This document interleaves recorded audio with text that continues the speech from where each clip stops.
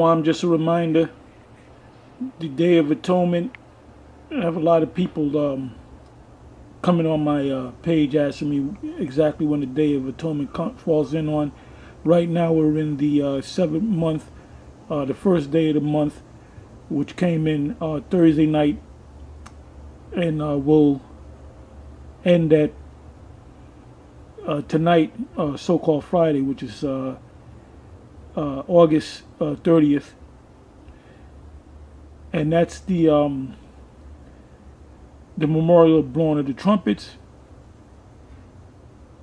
Now the Day of Atonement comes ten days later, or night, the ninth day, ninth day of the month at evening, which is the beginning of the tenth day. Um, is the Day of Atonement. So that will come on September. Let me bring this up. September 7th at evening, which is a Saturday.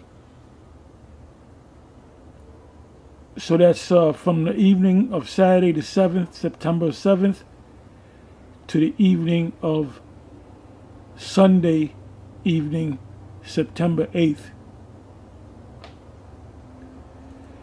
And that's the day of uh, fasting. You fast on that day. What we will be doing, Most High willing will be out out there on the highways and the byways on that day. So we'll be out there on the so-called Saturday in the daytime. It'll probably be an early camp, and the uh, on Sunday it would be uh, you could say a regular camp. Um, anyway, with that, uh, I'm gonna say shalom, and this is like I said, this is just a reminder of the Day of Atonement. With that, I'm gonna say shalom.